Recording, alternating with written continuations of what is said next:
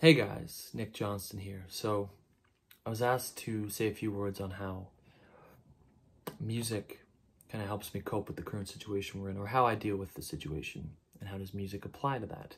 Well, I will say, not much has changed for me. Um, although I am a type 1 diabetic and I am at risk of catching this thing, I typically, well, I've been practicing social distancing for about. Uh, 18 years, 20 years now, uh, without really realizing it.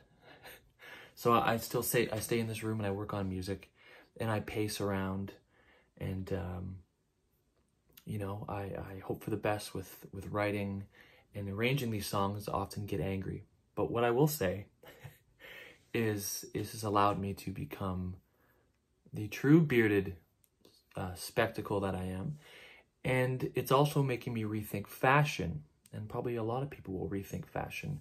And I, I, I believe that the outcome of this, from a fashion perspective and a comfort uh, perspective, is that no man will ever be wearing skinny jeans again. And that is fantastic because, I mean, throughout all this, it's just been track pants and no underwear.